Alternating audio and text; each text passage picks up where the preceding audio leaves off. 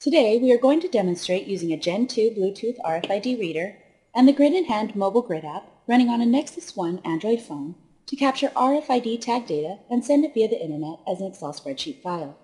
This same mobile grid process can be used with other RFID readers and barcode scanners available from SerialIO.com.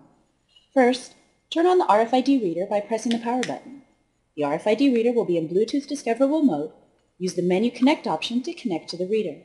When connected, pick the type of Gen 2 tags you will read. TID is tag ID, and EPC is electronic product code. Then pick the format you want the data to be recorded in the grid. You can use hex or ASCII.